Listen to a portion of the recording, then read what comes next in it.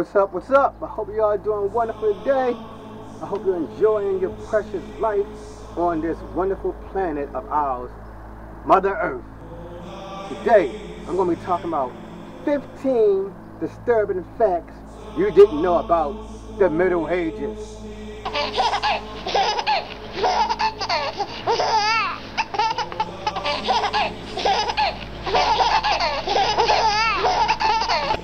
Alright, I'm reading from an article located, located on the internet that you can find yourself. The name of the article is called 15 Disturbing Facts You Didn't Know About the Middle Ages. Alright, the Middle Ages, and I'm reading verbatim, verbatim. The Middle, I'm not going to read everything, just some of it. The Middle Ages are widely considered to be one of the darkest eras in human history. Okay, the people go there, they're demonstrating their arrogance right there. They're talking about human history. The Middle Ages does not affect Africa. It does not affect China. It did not affect uh, Australia. It only affected one region on the planet. Here it's saying human history. Uh-uh. It's not no human history. It affected a certain uh, region on the planet. Historically sandwiched between the fall of the Western Roman Empire and the dawn of the Renaissance era, the Middle Ages represent a, le a less progressive period for humanity than their surrounding area, eras. It made a big mistake again. It said less for humanity. The Middle Ages the Dark Ages, it did not affect China. It did not affect Japan. It did not affect the Philippines. It did not affect Africa, and on and on and on. It only affected a certain region, a certain classification of people. Again, they're showing their arrogance right here by saying it affected humanity. It did not affect the entire earth. Unfolding over a wide swath in history. There that arrogance again, in history. Whose history? From the 5th century up until the 15th century, the Middle Ages were marked by plagues, wars, famine, civil uprisings, tyrannical oppression, and religious control and persecution science and medicine were less evidence-based and more built around superstition and a deep-seated fear of God was used to control and dominate the people. If the Middle Ages still sound good to you, here are 15 little known facts that will make you very happy to be alive in this country for me, it's the United States. For you, it may be somewhere else. But wherever you are, you're more blessed now than the people who were in that Middle Age period.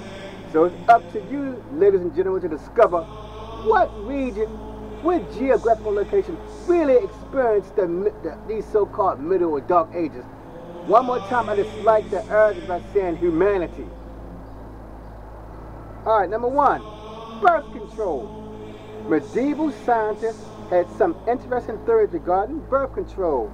In the 13th century, it was believed that one an amulet contained a weasel, you know, that little animal, the, the, the, little little rodent, weasel testicles would prevent pregnancy. Perhaps, there it is. Perhaps there is some validity to this theory and that no one would ever want to have sex with someone wearing a weasel testicle necklace. That's step one to show how backwater people and the Middle Ages, the Dark Ages were. But I can't call them too uh, far-fetched because, you know, some cultures, they wear certain animal parts as, a, you know, as some type of enchantment, some type of uh, ceremonial adornment. So I can't blame them but the weasel testicles. Every part of the world had that special animal part that gives them power and strength if you wear them the horns, if you wear the fur, etc. So hey, I'm not going to blame the Middle Ages but the weasel testicles. Every region of the earth had their unique favorite things that they do with animal parts. So, number two, beauty. During the, the medieval era or the Dark Ages, pale white skin was considered to be a, a pillar of feminine beauty. So it's telling you right there, see? It said human history. Now it's talking about pale white skin. So what people is this really talking about? In the beginning that I read, it talked about the human, human history. Now it's talking about pale white skin. So you get the point. That was their arrogance. So during the medieval era, pale white skin was considered to be a pillar of feminine beauty. To attain a nice white hue, women applied white powder to their faces that often contained toxic lead. But again, it was not scientifically advanced, so they did not know the ramifications or the harm that lead could have caused them if it was absorbed in the skin. Even worse, many women would have a barber cut their arms and drained their blood until they went pale. So they forced paleness upon themselves. Many women did this. It seems women have always suffered for beauty. Okay, a little sense of humor there. But you got the idea, the extremes that women went through to look pale.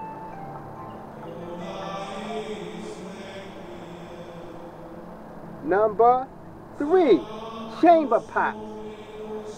Peasants walking around the streets were often splashed with human excrement dumped on them by people emptying their chamber pots from their windows. They didn't have no toilets. They didn't put their uh, body waste in a particular hole. Nope. During that dark age, the medieval age, they, they, they did that. They placed their bodily excrement in a pot, and they took the pot and just dumped it outside. Now we, now I do know most some culture was more civil than this. They did respect human existence. During this dark ages of medieval, medieval ages, it did not seem like they had respect for people walking outside. They just took the pot and just dumped it outside. You walk with your wife, your children, take the Sunday scroll, all of a sudden somebody throw all their bodily waste on you, ruining your beautiful Sunday or Saturday attire. Many medieval streets had public sewers or gutters that ran right down the middle of them. So they had their gutter was in the middle of the street with filth and trash flying all the way down the street. This led to extremely unsanitary conditions for the street people and overall an awful stench. And you probably heard that from learning in school or college, whatever the medieval period, it had a foul, inhospitable stench because people did not take precautions in placing their bodily waste in a simple hole in the ground. You just toss it outside for anybody to get it. So you can imagine the plagues and diseases that ravaged those particular people. Number four, the barber pole. In the Dark Ages or medieval times, barbers were busy people. Aside from providing grooming services, they also performed minor surgeries and dentistries. So they were the jack of all trades. Not only did they cut your hair, they performed dentistry and surgery But not the surgery and dentistry that you think of today. To advertise these additional medical services, barbers would wrap blood white gauze wagged around a pole outside their shops. That's where the signature red and white spiral pole that we all recognize today came from. Mm -hmm.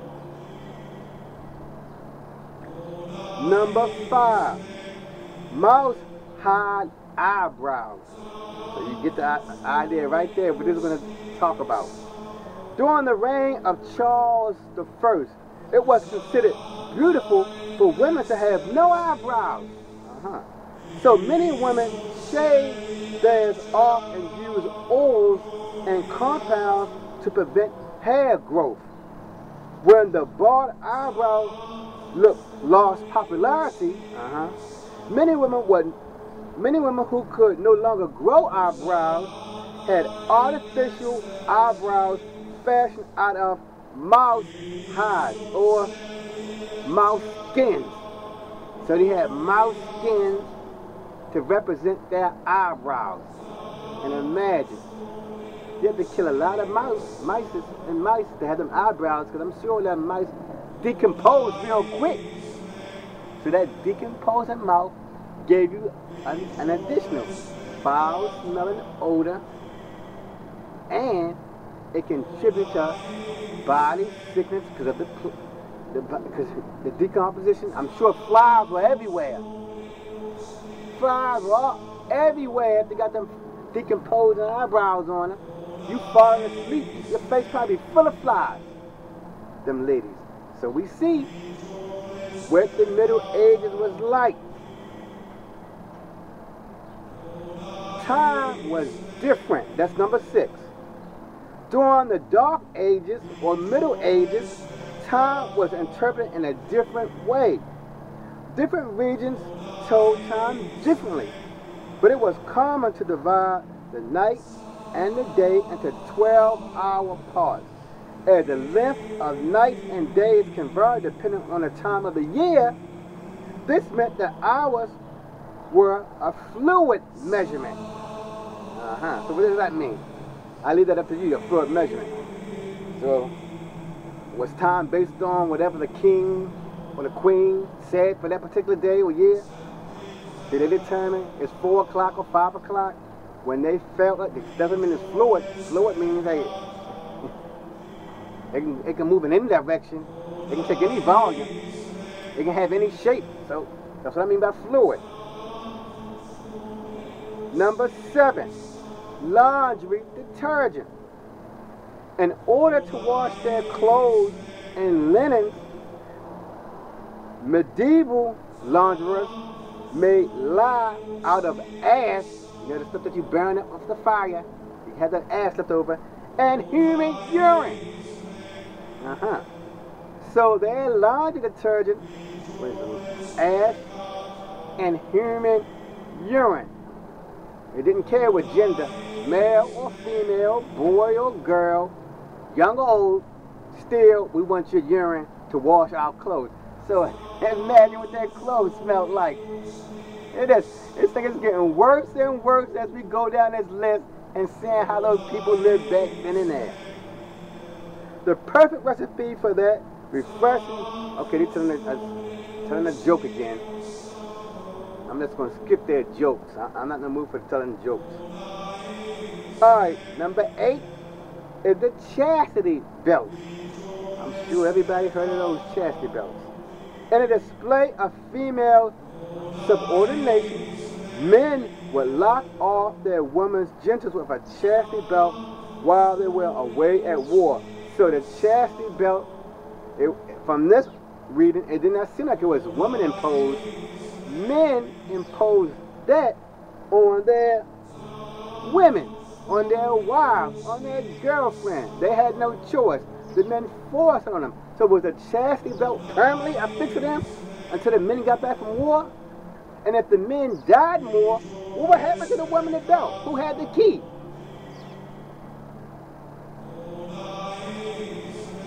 Number nine, men were metrosexual. If you don't know what it means, you can pause this, get a dictionary, or you can look on Google or YouTube, whatever your favorite search engine is, see what this word metrosexual means. During the 1300s, men's clothing became much less conservative throughout much of Europe. There you go again. It said, in the beginning it said humanity, now it's talking about Europe. It didn't say China, It didn't say Indonesia. It just said Europe. Men would wear tight corsets that hid their bellies and emphasized their frame. They also wore increasingly bright colored clothing and outfits made up of two bright contrasting colors became fashionable. Okay, so they was colorful. Men also began to wear long pointed shoes called cockles that kept getting longer and longer until Edward III declared a law limiting the legal length of the shoe. You, we probably see those and those um those comedy movies where men had those long those long shoes on. You probably saw it with the pointed toes. All right, so we all right. So that was number nine, ladies and gentlemen. Number ten. No forks. No eating utensils. Basically, that's what it's saying. No spoon. No knife. And no fork.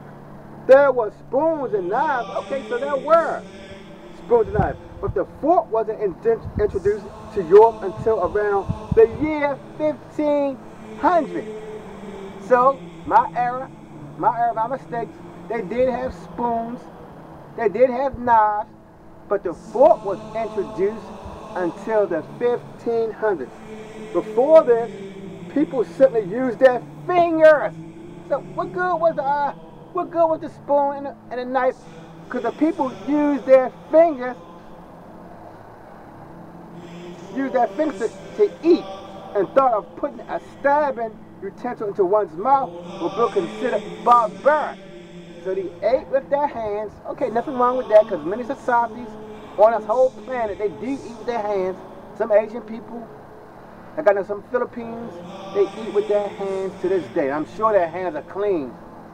So I guess in the Middle Ages, when they ate with their hands, from what we saw, they probably had filthy, dingy hands sticking food in their mouth. We see they did not they did not like using utensils, and they considered if you stuck any utensil in your mouth, that was considered to be barbaric. So they almost looked like the animals. They just grabbed it like a chimp. They just grabbed what they wanted and put it in their mouth like a chimp or ape or some other higher class primate.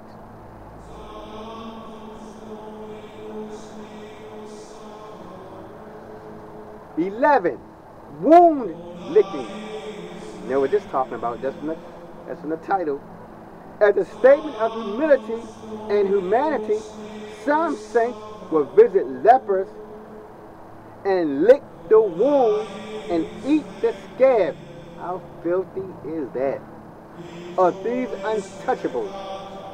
It's extremely nauseating to consider.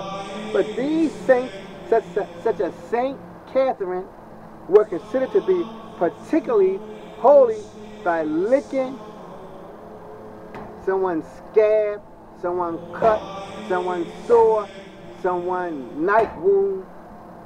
They lick the wound for some type of, I guess, enchantment.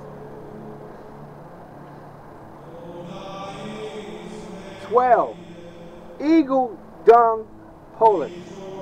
To ease the pain of expectant mothers, midwives would feed them sugar and vinegar and rub their abdomen, abdomens with rose oils. Okay, so that don't seem too bad.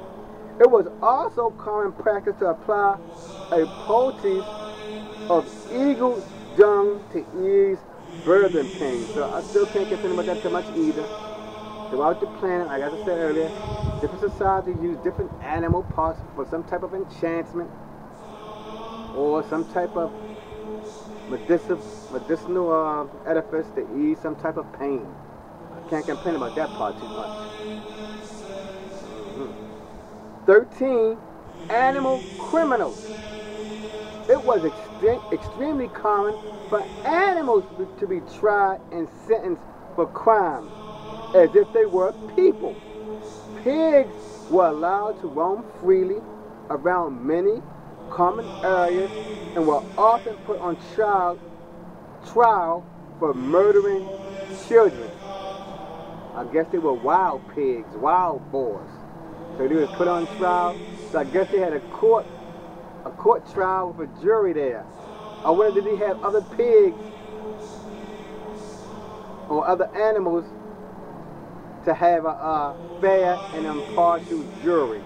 So if a dog bit your child, I wonder for, for his uh, on the Doug's jury, did he have other Dougs to help determine the verdict? Because the Doug probably say, look, if, you, if humans judging me, you are not my peers. Only other Dougs are my peers. Hmm. 14. Women could not go on top. So what does that mean? Women could not go on top. The Christian church was so heavily involved in governing the people that evil sexual positions became mandated. A woman going on top was considered a sin because it put a female in a dominant position over a male. Any sexual act that could only be utilized for pleasure and not procreation were also considered to be sins and were therefore punishable with sentences of up to a lifetime and a deplorable prison. Now, how can they tell what you was doing when you interacting with your female wife or your male husband behind closed doors? So someone had to have been a snitch. One of those partners had to have been a snitch and told the priest or the clergy that my husband and my wife seemed like she or he was enjoying that act. So we see right then and there, snitch has its European origins. Being a snitch on your sexual partner. How sad is that? How sad is that? And finally, my good people, we at number 15. Hooray! Uh, I knew this. Everyone had life. Remember what it said? The dark ages, the medieval ages affected humanity. Does it seem from our reading, is it affecting the whole world or one certain region of the planet? Number 15 said everyone had life. And as we know, on this planet right now, in the 21st century, some people get lice, or some groups of people get lice far more than other people get lice. And some people on the planet having a life is basically non-existent. And I'm not going to tell you, my friends, who those people are who have a high tolerance for resistant lice on their bodies. It's up to you to do that research. So let me read this. Just about everyone from peasants to noblemen to kings were infected by the disgusting, the deplorable, the hideous life. The large billowing wigs common in the Middle Ages were created as a response to lice infestations that caused people to shave their heads. Unfortunately, even wigs would get infected with lice and similar biting insects. So it's not just the lice. It said there were other biting insects. The, the medieval ages was cruel on its inhabitants. Thank you, my good people, for taking the time to visit my channel. You all have a wonderful, peaceful, delightful day. Goodbye.